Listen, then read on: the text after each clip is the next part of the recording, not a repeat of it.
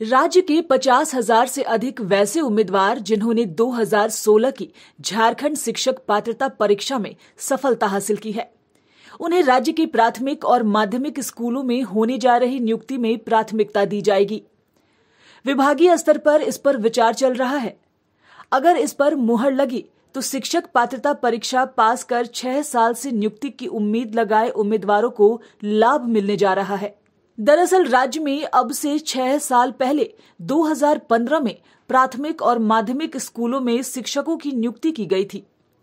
इस नियुक्ति में केवल 2013 में जेटेट पास उम्मीदवारों की सीधी बहाली की गई थी। इस बहाली के बाद साल 2016 में दूसरी शिक्षक पात्रता परीक्षा ली गई, लेकिन इसके बाद नियुक्ति नहीं की गई। अब शिक्षक पात्रता परीक्षा नियमावली 2021 बनने के बाद फिर से जेटेट लेने की बात की जा रही है। ऐसे में विभाग इस प्रयास में है कि शिक्षक पात्रता परीक्षा से पहले प्राथमिक और माध्यमिक स्कूलों में नियुक्ति प्रक्रिया शुरू कर ली जाए। मालूम हो कि झारखंड के तमाम श्रेणी के स्कूलों में शिक्षकों की नियुक्ति की नियमावली बनाई जा चुकी है।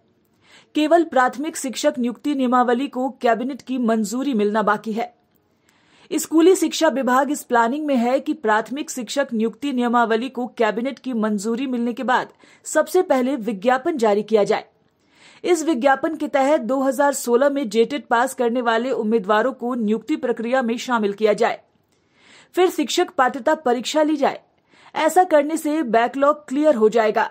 बताते चले कि झारखंड में प्राथमिक शिक्षक नियुक्ति नियमावली को कार्मिक विभाग से मंजूरी मिल गई है। Bureau report news wing.